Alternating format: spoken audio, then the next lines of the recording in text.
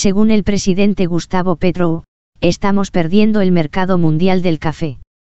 Recuerda suscribirte y compartir.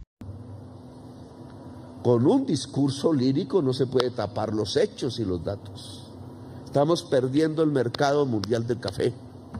No por culpa del campesino paisa del que hablaba, por culpa de esa representación que a nombre de ese mundo del trabajo lo que hizo fue destruir el mundo cafetero en Colombia. Vendieron la flota mercante gran colombiana, vendieron el banco cafetero, privatizaron todo. La misma historia de las EPS. Si hacemos una comparación ahora que podemos, es la misma historia. Fueron ordeñando la... Con un discurso lírico no se puede tapar los hechos y los datos. Estamos perdiendo el mercado mundial del café.